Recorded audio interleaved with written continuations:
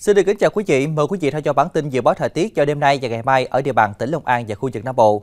Thưa quý vị, theo Đài khí tượng thủy văn tỉnh Long An trong 24 giờ tới, khu vực của tỉnh Long An chịu ảnh hưởng áp cao lạnh lục địa tiếp tục suy yếu và di chuyển ra phía đông. Trên cao áp cao cận nhiệt đới có trục qua khu vực Nam Bộ và có cường độ suy yếu ít thay đổi. Sau đây là phần dự báo chi tiết cho địa bàn tỉnh Long An. Theo dự báo trên địa bàn tỉnh, đêm không mưa, đêm và sáng sớm trời sẽ lạnh, ngày nắng, với nhiệt độ cao nhất là từ 32 cho đến 34 độ, nhiệt độ thấp nhất là từ 23 cho đến 25 độ, độ ẩm trung bình từ 65 cho đến 75%, gió đông bắc cấp 2 cấp 3. Về tình hình thủy văn, dự báo mực nước xuống theo chiều, dự báo vào ngày mai 2 tháng 2, mực nước ở các trạm chính như sau. Ở trạm Tân An là 1,09 m, ở trạm Bến Lức là 1,19 m, còn ở trạm Bộc Quá là 0,62 m. Trong ngày có hai lần xuất hiện đỉnh triệu trong khoảng thời gian từ 8 giờ cho đến 10 giờ và 21 giờ cho đến 23 giờ. Riêng ở trạm Bộc Quá, đỉnh triệu xuất hiện vào lúc từ 3 giờ cho đến 5 giờ và 12 giờ cho đến 14 giờ.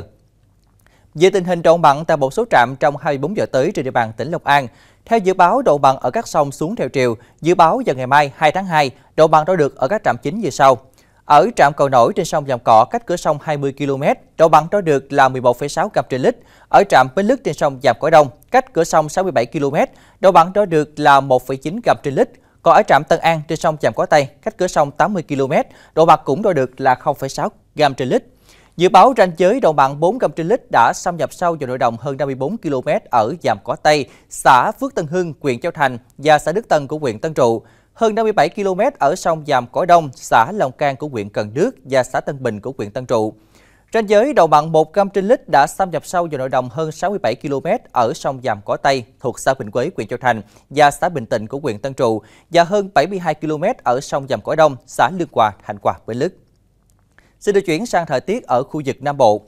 Tại miền Đông Nam Bộ, Đêm không mưa, đêm và sáng sớm trời se lạnh, ngày nắng có nơi nắng nóng, với nhiệt độ thấp nhất là từ 22 cho đến 25 độ, có nơi dưới 22 độ và nhiệt độ cao nhất là từ 33 cho đến 35 độ, có nơi trên 35 độ, gió đông bắc cấp 2 cấp 3.